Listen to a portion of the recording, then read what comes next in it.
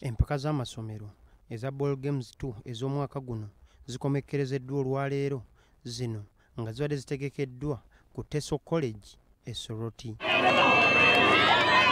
minisita omubeezi w'ebyemizannyo mu gavumenti eya wakati peter ogwang yabadde omugenyi omukulu ku mukolo ogw'okuggalawo empaka zino era yeebazizza abazannyi bonna abeetabye emizannyo gino. Directed that we buy 19 buses for 19 zones.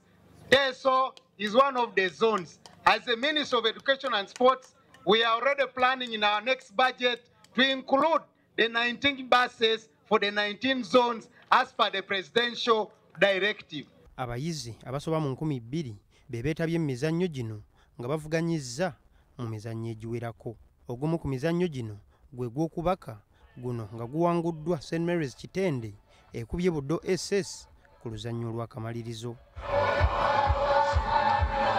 Ate bukedde ya comprehensive yewangudde empaka zino mu volleyball mu bawala buddo ss yeziwangudde mu nsero mbogo high school yeziwangudde mu handiball n'amalala.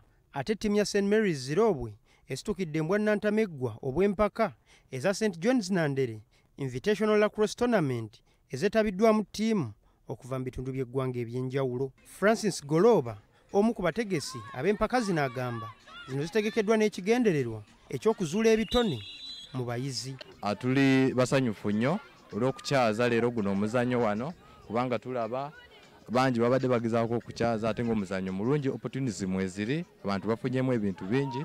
Omuzannyo gukyali mupya era nsaba amasomero bakulu b'amasomero eh, bakulu b'amasomero bagwejumbiremu ate ttiimu ya nabisunsa girls yewangudde empaka zino mu bawala. Otyo ab'eki